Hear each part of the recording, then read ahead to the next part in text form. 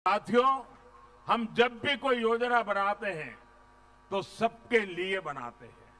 हर क्षेत्र के लोगों को, हर वर्ग के लोगों तक बिना भेदभाव, बिना पक्षपात, इस, उस योजना का लाभ पहुँचाने के लिए हम कड़ी मेहनत करते हैं। लेकिन दुर्भाग्य से देश में कुछ बातें ऐसी गलत चल रही है।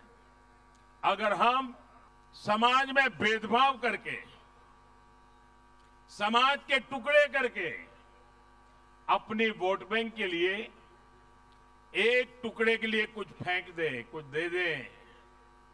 तो दुर्भाग्य देखिए, उसको देश में सेक्युलरिज्म कहा जाता है। लेकिन अगर सबके लिए काम करे, जो भी इसके हकदार है, कोई भेदभाव बिना कोई टिकड़े किए बिना अगर सबको देते हैं तो फिर कहते हैं, ये कम्युनल है। भाइयों बहनों, हमारा तो मंत्र है, सबका साथ, सबका विकास, सबका विश्वास।